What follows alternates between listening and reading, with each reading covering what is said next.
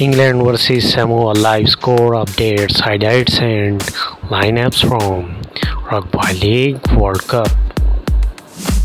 So the 2021 Rugby League uh, World Cup kicks off the weekend as host England get their campaign underway against Samoa at St James' Park in Newcastle.